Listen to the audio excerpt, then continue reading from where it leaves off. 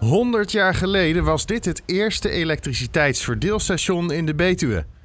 Kort na de Tweede Wereldoorlog werd die functie overgenomen door andere verdeelstations en inmiddels ligt het gebouwtje verscholen achter hoge struiken. Maar daar komt verandering in. In het gebied tussen Dodewaard en Hemmen komt namelijk een groot zonnepark en daarbij krijgt ook dit oude gebouw weer een functie. Er wordt mogelijk straks stroom opgeslagen en er wordt gekeken naar mogelijkheden om waterstof te produceren. De werkzaamheden moeten volgende maand beginnen.